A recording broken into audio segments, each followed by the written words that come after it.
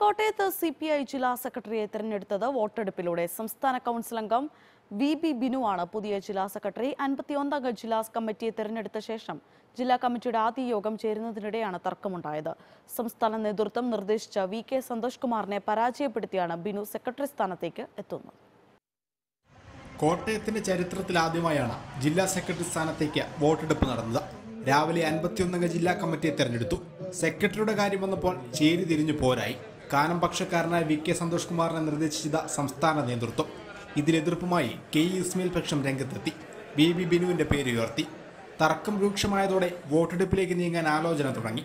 വോട്ടെടുപ്പ് ഒഴിവാക്കാനുള്ള സംസ്ഥാന നേതൃത്വത്തിന്റെ നീക്കം ഫലം കണ്ടില്ല. അൻപത്തിയൊന്നിൽ ഇരുപത്തിയൊൻപത് വോട്ടുകൾ നേടിയാണ് ബിനുവിന്റെ ജയം.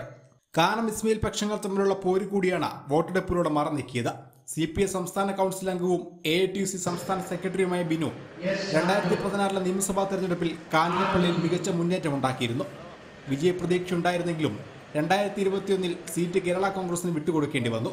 C P I Kerala Congress പോരാട്ടം കടുപ്പിച്ചാണ് സി കെ ശശിധരൻ ജില്ലാ സെക്രട്ടറി സ്ഥാനം ഒഴിഞ്ഞത്. ഇനി ആ പോരാട്ടം നയിക്കേണ്ട ഉത്തരവാദിത്തം ബി ബി ബിനുവിന്. ഒപ്പം വിഭാഗീയത കൊടികുത്തി വാഴുന്ന കോട്ടയത്തെ പാർട്ടിയെ മുന്നോട്ട് കൊണ്ടുപോവുക എന്നതും വെല്ലുവിളിയാണ്. റിപ്പോർട്ടർ കോട്ടയം.